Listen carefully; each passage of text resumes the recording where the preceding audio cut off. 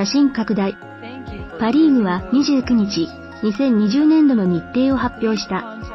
セリーグと同様に3月20日に楽天オリックス、楽天生命、西武日本ハム、ネットライフ、ソフトバンクロッテ、ヤフオクドームで開幕。7月21日から8月13日まで中断する。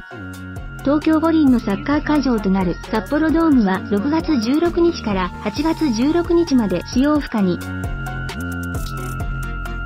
その影響で日本ハムはその間、主催試合を釧路、帯広、静岡、那覇、旭川、東京ドームで計10試合を行う。